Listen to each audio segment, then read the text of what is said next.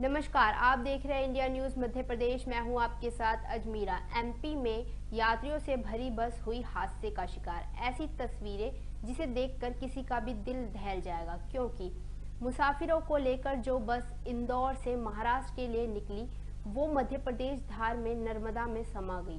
तेरह जिंदगियाँ मौत के सामने मात खा गई। बताया जा रहा है कि खालघाट के संजय पुल पर अचानक ड्राइवर ने अपना काबू खो दिया। बेकाबू बस नर्मदा में जा गिरी और एक भी बस सवार की ज़िंदगी नहीं बच सकी। उधर हादसे खबर प्रशासन को मिलते ही प्रशासन हरकत में आई और अभियान चलाया गया।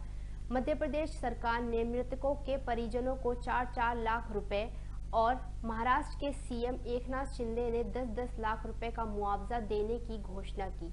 केंद्र सरकार प्रधानमंत्री राहत कोष से मृतकों के परिजनों को दो दो लाख रुपए का मुआवजा देगी। कुल 16 लाख रुपए का मुआवजा मृतकों के परिजनों को दिया जाएगा। ऐसी और अपडेट को देखने के लिए जुड़े रहे मध्य प्रदेश से।